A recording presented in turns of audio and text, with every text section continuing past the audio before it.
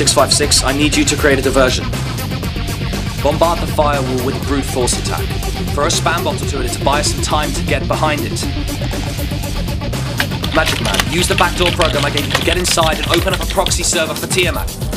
She'll be working on installing the data worms while Cortex and JMG break into the security subroutines to prevent the firewall from re-engaging.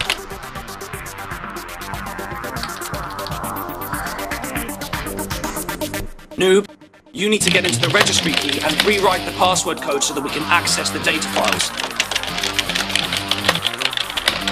Don't get cocky though, noob. Leave the main data cache for me.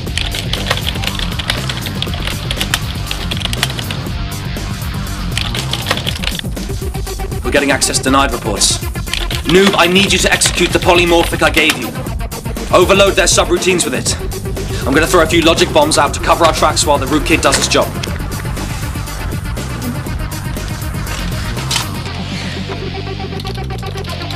They still have active protocols looking for unauthorized users. If you think they've got a lock on you, pull the hard line. Okay, I'm in. I should have complete access to the database in 30 seconds.